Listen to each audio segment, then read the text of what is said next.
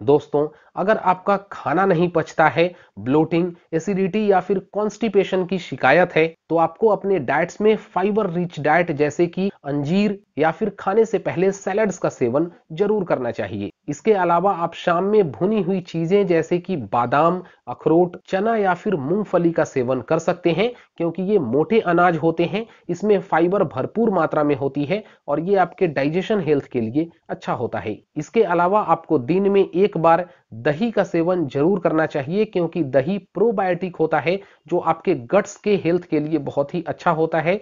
Guts bacteria को enhance करता है और डाइजेशन को इंप्रूव करता है। लेकिन ध्यान रखें कि आपको दही में किसी प्रकार का चीनी या फिर नमक नहीं मिलाना है। आप दिन में एक बार ताजी दही का सेवन करें।